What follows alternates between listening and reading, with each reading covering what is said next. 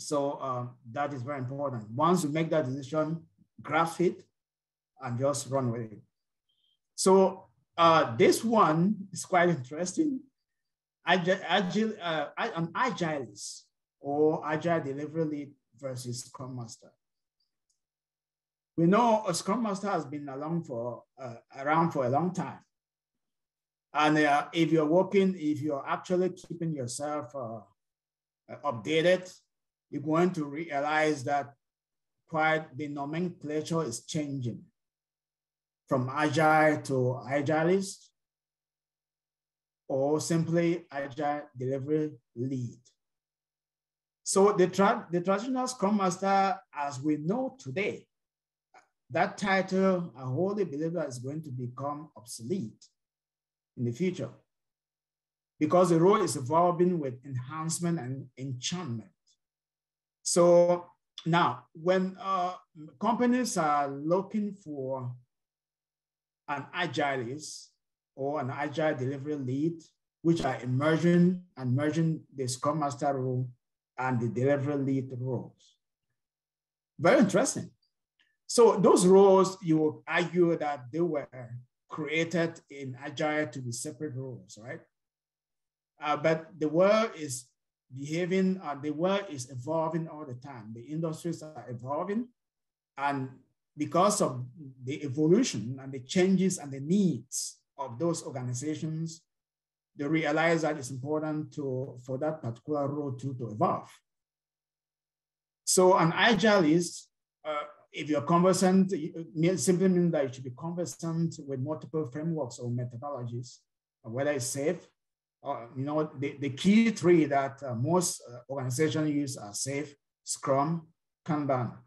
Now, all the uh, many other methodology, uh, methodologies or frameworks out there. You know, the uh, test-driven development, feature-driven development, uh, you know, extreme programming, DevOps, or using, of course, dynamic systems development method, and many others that that you you all know. Those who are in this in the industry, you know. So when, uh, when I look, I talk about dynamism and flexibility in the software delivery lifecycle because uh, you want to mix and match those methodologies. And uh, I've, I've done that successfully because uh, I look at the scope that we have, at the, uh, not just the scope, but the project that we are trying to deliver on. And then I could always borrow from one methodology, methodology or the other to enhance Scrum, SAFe, or Kanban.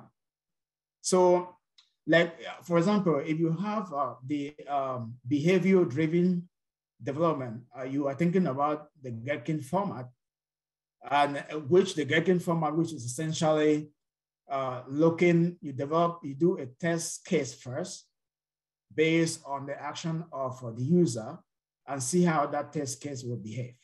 And based on that, whether it's going to fail or pass the test.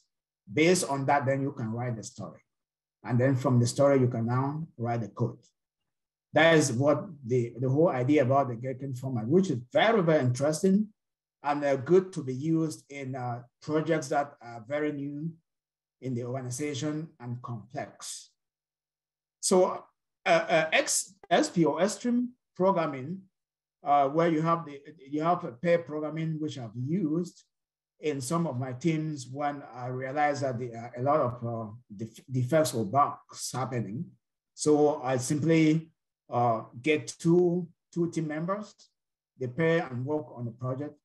And then uh, once they are now very conversant with the project and doing well, then they part their ways and they can work uh, not in silo, but they can work separately because we will be having our, you know, the daily stand-up and other ceremonies that we sing. Then Kanban uh, is a great framework that uh, for vulnerabilities. I, I, I, always recommend Kanban in uh, projects that are very volatile.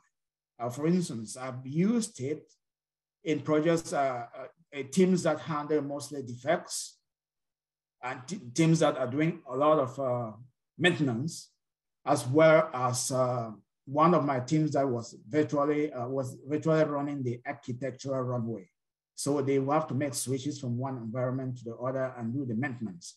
So when you are having those kind of projects, it means that uh, the work is very volatile. So you cannot plan work into sprints because if you're just applying Scrum where you plan work into your sprint, and usually you don't want to change your scope, uh, once the sprint is planned, and that's how spring, I mean, uh, Scrum is, uh, is designed to work so that you can avoid a lot of, a lot of uh, scope change. So you want to apply Kanban. I have even done a combo of Scrumban and very successfully with that too. So uh, when you, you want to ev evaluate and measure the effectiveness of your project and adjust accordingly, that is um, uh, the way to go with those ones.